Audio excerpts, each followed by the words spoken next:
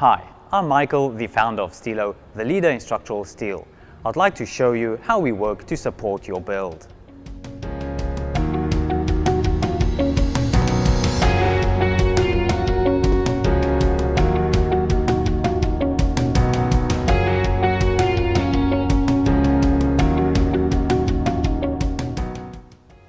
This is how we mark the raw material that goes into production.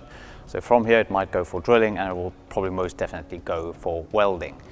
Uh, the way we mark it, uh, we mark the center of gravity so it's easier to use overhead cranes in the production floor and then also easier to offload onto your site once it's in position.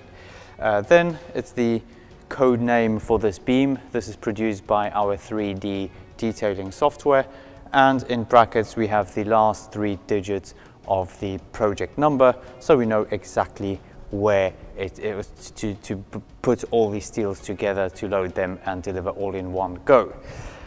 We have or we produce drawings for every single beam so even if it's a straight beam without any fabrication on it we would still produce a drawing because the drawing first of all needs to be signed uh, so it conforms with CE marking and also it shows the coatings whether it's primed or do not paint like in this case part of it needs to be primed and the ends not because it is a splice connection.